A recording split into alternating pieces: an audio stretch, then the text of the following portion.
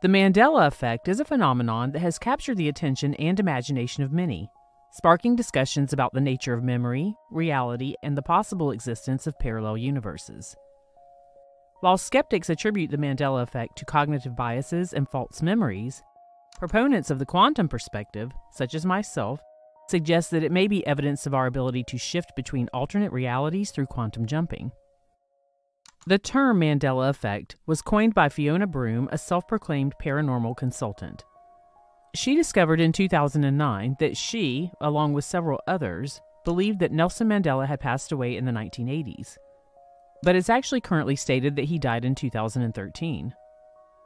The Mandela effect refers to the phenomenon where a large group of people collectively remember an event, fact, or detail differently from how it's recorded in historical records or official accounts.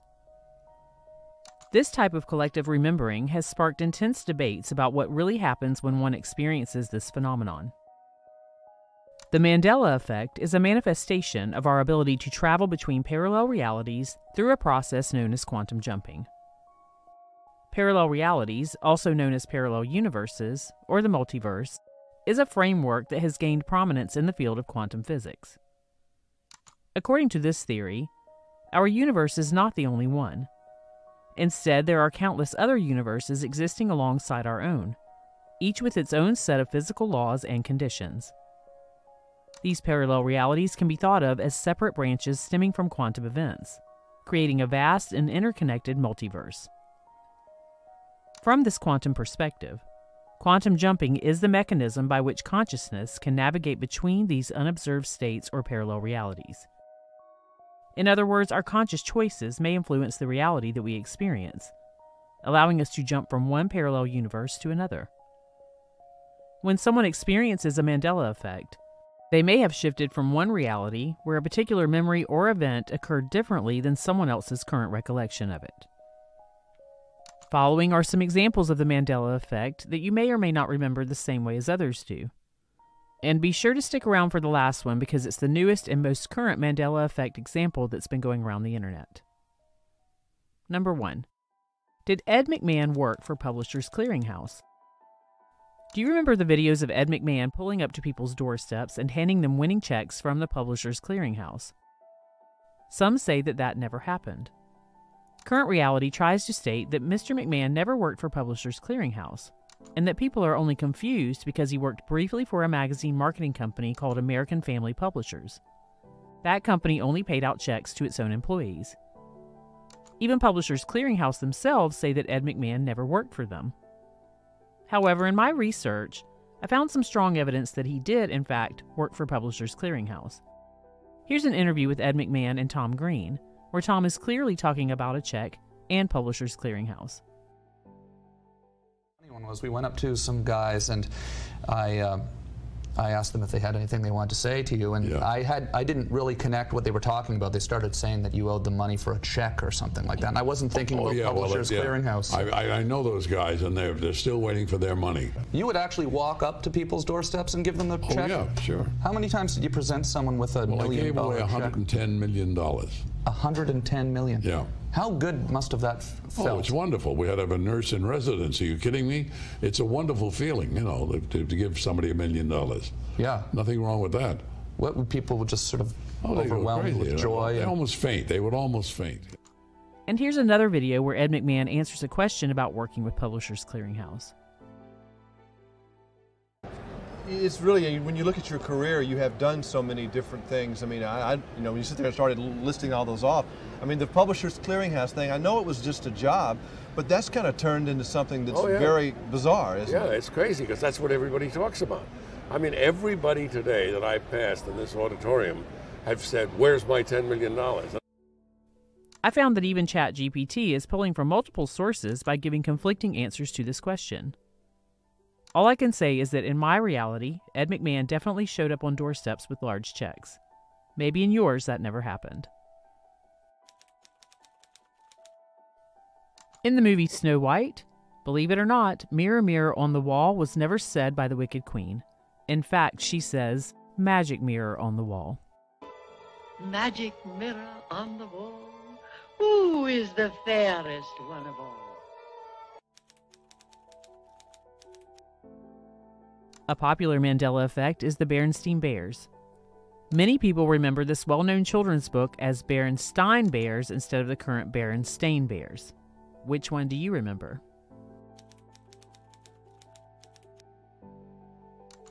A lot of people often remember the cereal as Fruit Loops with a U when it's actually currently spelled with two O's.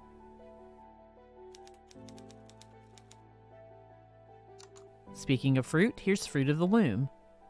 Although a lot of people remember a cornucopia being in the Fruit of the Loom logo, it's actually shown currently as just a bunch of fruit and claimed by Fruit of the Loom themselves to never have had the cornucopia as a part of their logo.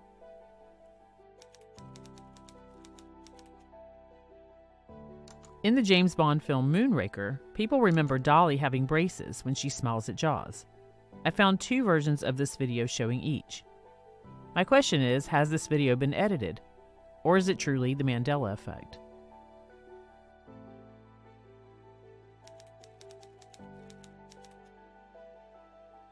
Apparently, C3PO has a silver leg, but many fans, including some I know, remember him as 100% gold.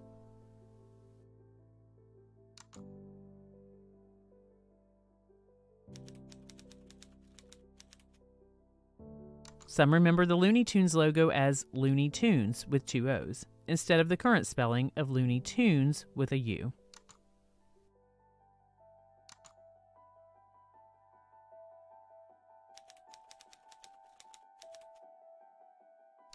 A popular and widely debated product amongst those who discuss the Mandela effect is Jif, or Jiffy peanut butter.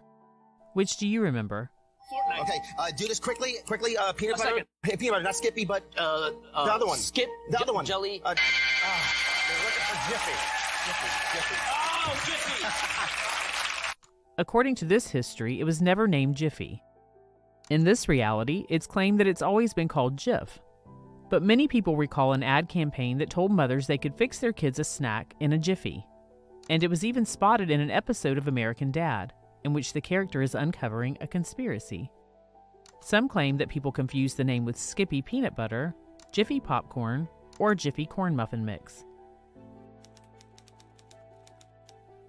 And the most recent confusion and debate around the Mandela effect seems to be the passing of Bob Barker. A lot of people claim that they remember the game show host passing away several years ago.